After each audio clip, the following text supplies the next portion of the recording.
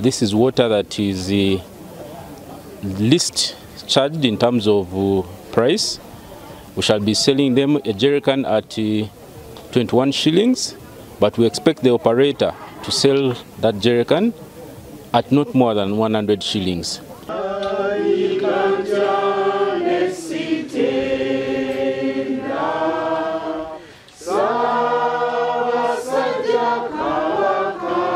NGO Lifesaver Missionaries, the Entebbe leadership, together with National Water and Sewerage Corporation, have partnered to provide clean water for residents of Gudda Fishing Village. We have realized that National Water is going to give us piped water at a low cost. As the office of the Deputy Mayor, it is one of the CS, uh, CSR who would think the National Water and Sewerage Corporation would bring back to the community of Gudda. Gudda is near the lake and the water from the lake is not that safe for drinking.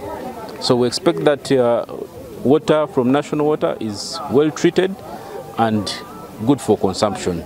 They have also promised to help look for funds to build a pit latrine for residents. There is only one pit latrine in the village inhabited by 700 people. They are facing a challenge of sanitation. Well, that is still a challenge also to us, but as Entebbe Municipal Council, we are going to work with other partners to see that we lobby for them. Uh, the good thing is that they have a place which uh, they're having for building a toilet. We are ready to look for all avenues to see that this toilet is built. Jackie Mirembe, the Chiwafutu councillor at Entebbe municipality, was surprised to hear that the residents are paying taxes, yet the landing site is not gazetted. She promised the locals that she's going to follow up on the issue so that they benefit from the taxes they are being levied on. On top of that, this landing site is not gazetted and taxes are collected onto their businesses whereas those taxes collected on them are not, ben, are not they have not benefited as well.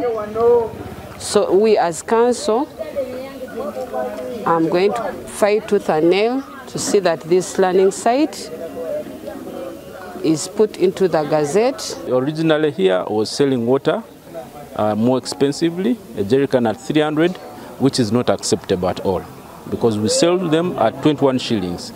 So we do not expect that it should sell at that amount of money.